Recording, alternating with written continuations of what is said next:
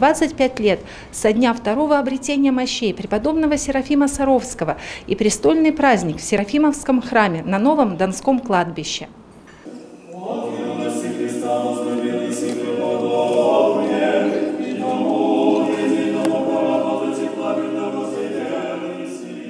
церкви преподобного Серафима Саровского чудотворца на Новом Донском кладбище литургию совершил наместник обители, викарий святейшего патриарха Московского и всея Руси Кирилла, епископ Бронницкий Парамон. Владыки сослужили клирики и братья монастыря.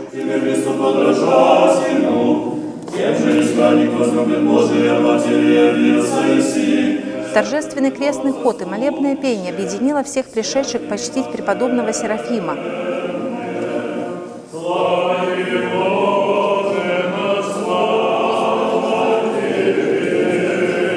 Всеми любимый и всеми почитаемый, преславный Отче Серафиме, приходящих к Нему, встречал возгласом «Радость моя, Христос воскресе!»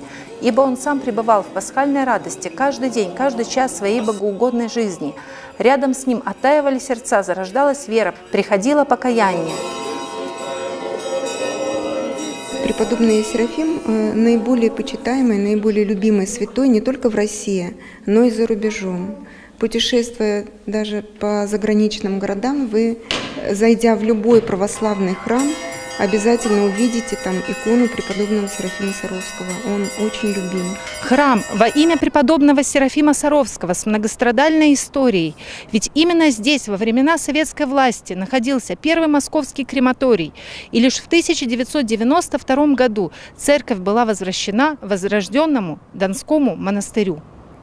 «Спасись сам, и вокруг тебя спасутся тысячи», сказал преподобный в беседе с барином Мотовиловым, подняв его на ноги от неизлечимой болезни. И эти слова стали духовным наставлением батюшки Серафима для всех нас, ведь он в своей пустынной келье изменял мир вокруг себя. Прихожане собрались, вот, молились. Вот, в Дивеево к Серафиму Саровскому. вот, и Там мы ходили по канавке. да, мы там ходили по канавке, и Читали молитву. я читал молитву, вот мы все вместе читали молитву Серафим Саровского.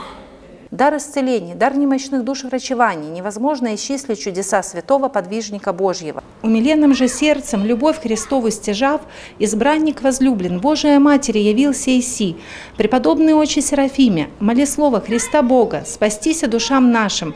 Светлана Леонтьева, Илья Анисимов, Сергей Ярченко, телеканал Добро ТВ.